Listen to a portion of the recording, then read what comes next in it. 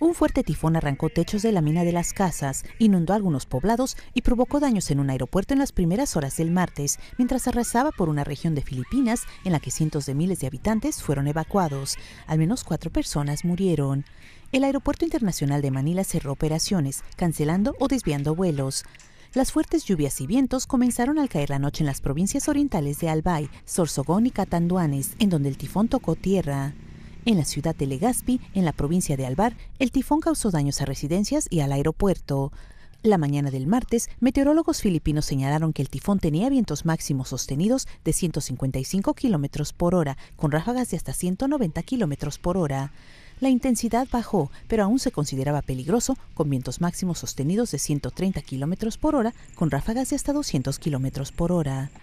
Filipinas sufre unos 20 tifones y tormentas al año, lo que hace del archipiélago, en el corredor de los tifones del Pacífico, uno de los países del mundo más propensos a los desastres.